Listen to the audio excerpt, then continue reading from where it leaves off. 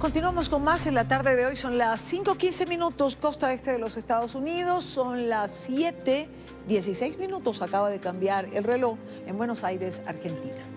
Estas son las imágenes de momento o del momento en que quedan en libertad los periodistas colombianos Leonardo Muñoz y Maurín Barriga, quienes fueron detenidos, recordemos, arbitrariamente por las fuerzas de el régimen de Nicolás Maduro.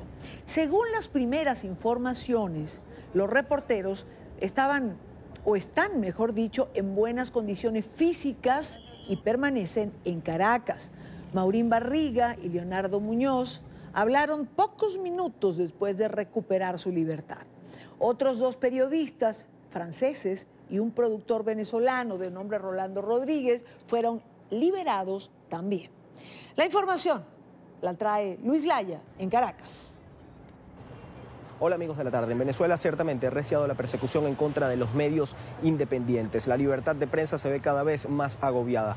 En las últimas 48 horas al menos 11 trabajadores de distintos medios, varios de ellos agencias internacionales, fueron detenidos por funcionarios de inteligencia. Varios de ellos de nacionalidad extranjera fueron deportados. Estaba haciendo yo una cobertura gráfica, hice una foto de un grafiti en una pared eh, no sabía que la pared pertenecía a un edificio gubernamental, pues, y por eso ya estuve allá el tiempo.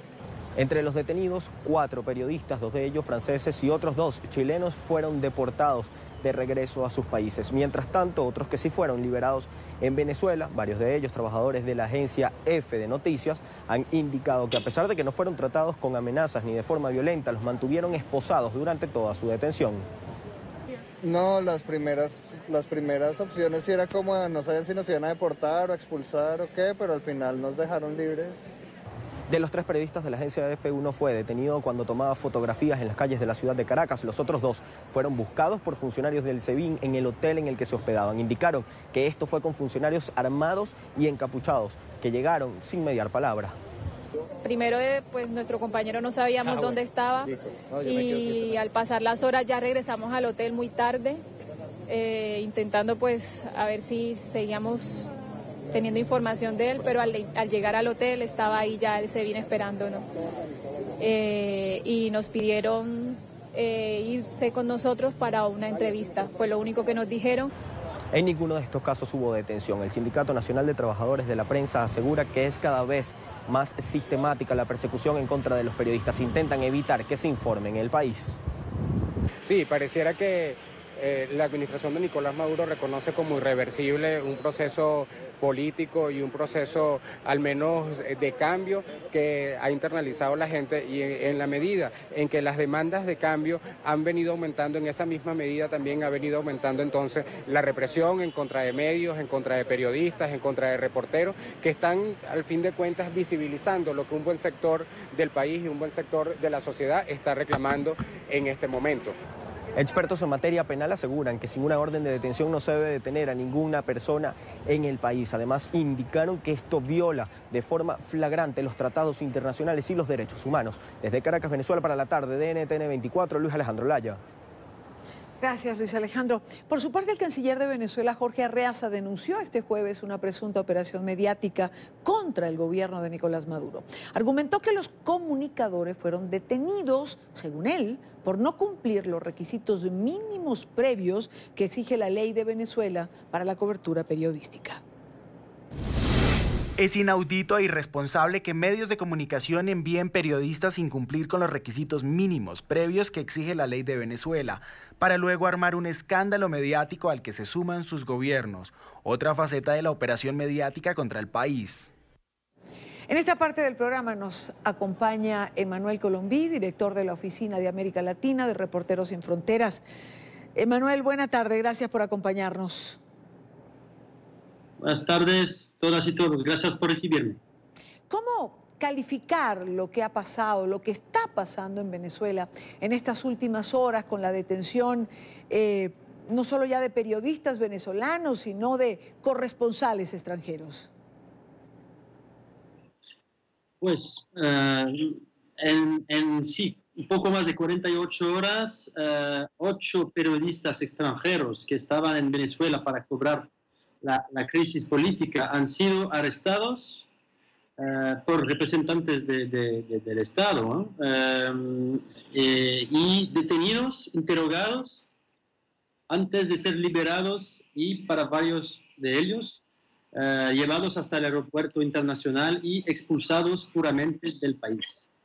Eh, es eh, muy grave, no es primera vez que tenemos este tipo de cosas en Venezuela, pero tuvimos ocho, ocho periodistas extranjeros en poco tiempo, lo que es, es, altamente preocupante porque viene efectivamente en un periodo muy, muy, muy tenso, de tensión política, de crisis y, la administración del presidente Maduro no quiere dejar a la prensa internacional trabajar y entonces hace este tipo de, cosas, lo que perjudica seriamente la libertad de información, que es fundamental en este momento en el país.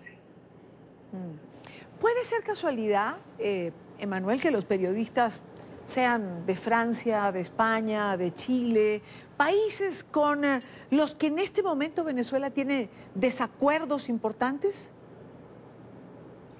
yo no llegaría hasta esta conclusión. han detenido efectivamente periodistas de Chile, de, Chile, de Francia, de Brasil, eh, de Colombia, que son países que, ya ah, apoyaron al, oponente Juan Guaidó. Pero yo, no pienso que haya una, mm, voluntad clara de, atacar directamente a los periodistas por su origen. Eh, yo pienso solamente que Em, la administración de Maduro quiere eh, silenciar todas voces eh, críticas y todos periodistas, sean nacionales, pero internacionales también, que están analizando y observando y describiendo lo que está pasando, todas las protestas.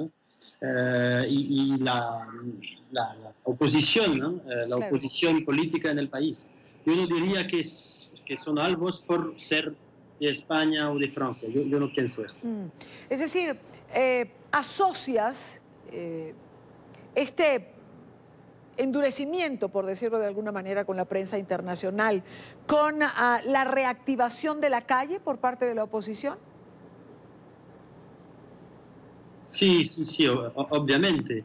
Eh, la, la, última vez que tuvimos lo que puedo llamar una olea de eh, de, violencia y de censura contra periodistas internacionales fue durante las grandes manifestaciones del, año pasado. Cada vez que hay grandes manifestaciones, grandes protestas y, movimientos de la oposición, tenemos este tipo de casos. Tenemos eh, detenciones arbitrarias, pero no solo de periodistas internacionales, un montón de, periodistas locales eh, están siendo perseguidos y cuando aumenta la, presión de la calle, aumenta la censura del, presidente Maduro y de, su equipo. Entonces sí, está totalmente relacionado. Cuanto más presión de la calle hay, cuanto más censura eh, hay por parte del gobierno. Es, es mecánico.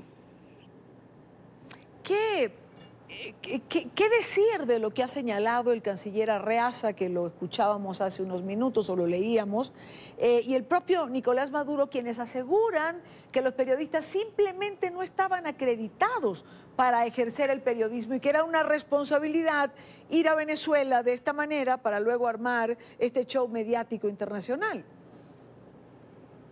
No, yo sobre, sobre este punto yo no voy a comentar esta, esta declaración porque eh, esta no es la, la, pregunta central. En casi todos los países del mundo los periodistas pueden entrar y observar y hacer su trabajo. Entonces, no hay que ver con la parte administrativa. Eh, estos periodistas no son criminales, solo han venido para eh, mostrar y, lo que estaba pasando en el país. Entonces, independientemente de, esta parte administrativa, y obviamente cada periodista tiene que, los equipos, las redacciones tienen eh, que eh, hacer un trabajo de verificación y preparar las misiones de los equipos. Pero sobre la parte de regulamentación yo no voy a comentar esta declaración.